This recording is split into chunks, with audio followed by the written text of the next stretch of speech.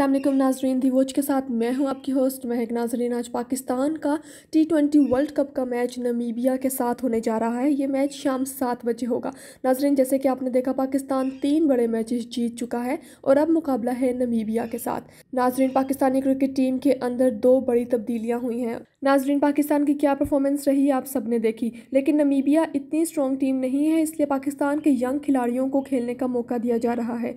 एक तो हैदर अली कंफर्म है, हो सकता है कि वो मोहम्मद हफीज़ को रिप्लेस करें या किसी और खिलाड़ी को, लेकिन आज वो ज़रूर खेलेंगे। वो एक बेहतरीन बैट्समैन है। और नाजरीन, दूसरे खिलाड़ी की बात करें तो वो है वसीम जूनियर इन दोनों को आज मौका दिया जा रहा है। इससे पहले इन दोनों ने कभी वर्ल्ड कप नहीं खेला।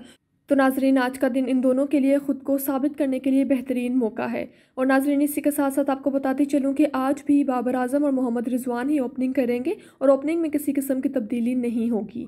नाजरीन, इसी के साथ पाकिस्तान को बेस्ट ऑफ़ लक कहते हैं कि वो ये मैच भी ज़रूर जीते। अगर पाकिस्तान न्यूजीलैंड इंडिया और अफ़गानिस्तान जैसी बड़ी टीमों को हरा सकता है तो नबीबिया इतनी स्ट्रॉन्ग टीम नहीं है। इसी के साथ मुझे दीजिए इजाज़त, अल्लाह हाफिज़।